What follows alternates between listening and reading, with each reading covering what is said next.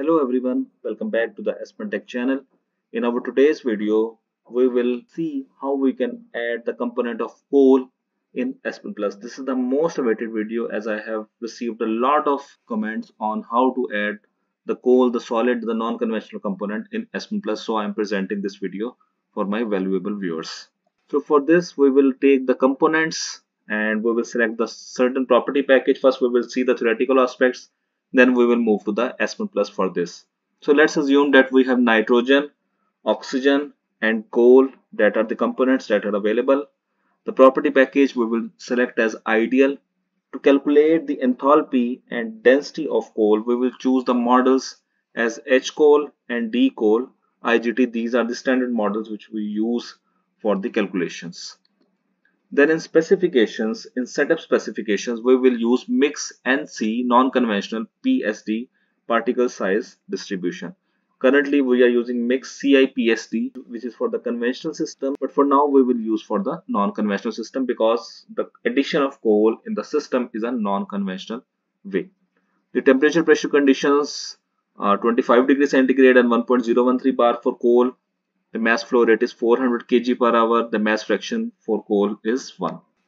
Then we have to provide the three analysis, proximate analysis, ultimate analysis and sulfur analysis. So moisture, fixed carbon, volatile matter and ash, these are provided in proximate analysis. Then ash, carbon, hydrogen, nitrogen, chlorine, sulfur and oxygen, these are provided in ultimate analysis and this sulfur is 1.3 so what we need to do then we have to provide the values in sulfur analysis. Then we have to specify the particle size distribution. Obviously there are different intervals. We will see once we go there. So we have randomly selected some weight fractions and this is just an example and an overview of how coal is added in the system. So at interval 6 the weight fraction is 0.1. Similarly, for interval 7, 8, 9 and 10, these weight fractions are given. For nitrogen and oxygen, the mole fraction is 0.999 of nitrogen while that of 0.001 is for oxygen. The mass flow rate is 2000 kg per hour. The pressure is 1.013 bar and the temperature is 132 degrees centigrade. And then there is a flash separator whose duty is 0 and pressure is 0 bar or 1.013 bar 0 bar means there is no pressure drop in the system. So let's quickly move to Aspen plus and see how we can add the coal. We will be adding coal we will be adding a nitrogen stream then we will add a flash separator and separate these two streams from each other. So what we will do we will first add the components nitrogen will be added then oxygen will be added which is a conventional component. Then we will add coal as a component but it is not available in the library and it is a non-conventional component. Now click on this next and we will select ideal as the property package. Then click on next and we have to specify the enthalpy and density methods for the calculations. There are different methods available. We will select H coal R8 coal enthalpy model available in release 8 based on the option code values entered component attributes ultanal which represents ultimate analysis sulfur, sulfur analysis and proxanal which is proximate analysis. While for density, it will be D coal IGT coal density model based on IGT correlation. So once we have done, we will click on this run and once results are available, we will go to the simulation environment.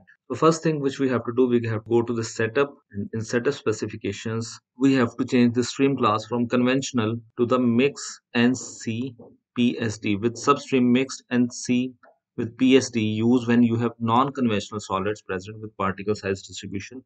So we will select this one to ensure that coal is added in the system. Now we will select the flash separator over here and then we will do the connections. This one is for coal and this one is for nitrogen and vapor stream and the liquid stream. We will say it as a coal so that coal is added in its now clicking on this nitrogen first and we will see how we add the components. This is the mix in which we add the temperature, pressure and corresponding information for the stream. Like for nitrogen we have been given that it is at 132 degrees centigrade 0.013 bar. The mass flow rate is 2000 kg per hour. While that of mole fraction is 0.999 nitrogen while 0.001 for oxygen and it is satisfied. As you can see nitrogen has been ticked. While for coal it is a non-conventional solid. So instead of specifying it in mixed we will go to nc solid. So this nc solid is active once you go to the specifications and change it to mix ncpsd so what we need to do once again we will come back to coal and nc solid. We will write its properties as 25 degree centigrade 1.013 bar the mass flow rate is 400 kg per hour. The mass fraction for coal is 1 but that is not enough. We have to specify the component attribute and particle size distribution.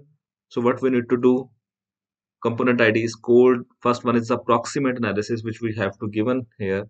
So in proximate analysis the value of moisture is 25 fixed carbon is 45.1 volatile material or volatile matter is 45.7 and that of ash is 9.2 once we have specified all these this has become ticked.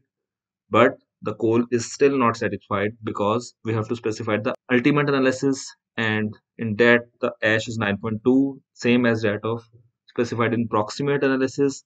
Carbon is 67.1 hydrogen is 4.8 nitrogen is 1.1 chlorine is 0.1 sulfur is 1.3 and oxygen is 16.4 so once you have specified all these the last part is the sulfur analysis. The total sulfur is 1.3 in its value so what we need to do in sulfanal we have to specify the values of pyritic sulfate organic but that should not be above 1.3 or the value which is of sulfur. 0.6 0.1 and 0.6 so once you have specified the sulfanal ultanal and proxanal the proximate analysis ultimate analysis and sulfur analysis the component attribute is now ticked. But now we have to specify the particle size distribution and in particle size distribution now you can see there are 10 intervals with each interval of 20 value and the unit is mu for this.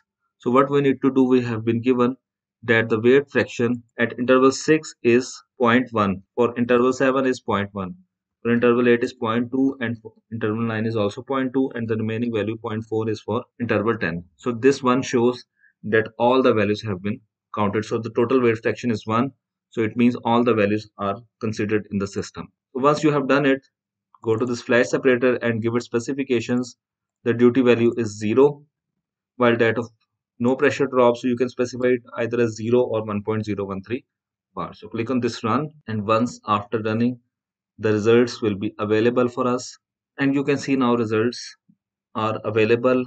It has been converged successfully. The coal is added in the system this is simple representation that coal is separated from the nitrogen system. And you can see that obviously in S3 which is a vapor in the system nitrogen and oxygen are present while in the liquid phase system we have the coal in the system. So this is simple separation which we have done but the major learning from this activity was how to add coal in the system. So I hope that all the valuable viewers who are asking this question have got the answer of adding the coal or any other component like you can add rice husk in the same way or any other biomass in the same way. So that's it from today's lecture. Thank you so much. I hope you have understand the video. If you have any query any suggestion any feedback please give it in the comment box. And uh, please subscribe to the channel like the video share the video and stay tuned for more exciting videos on this channel. Thank you so much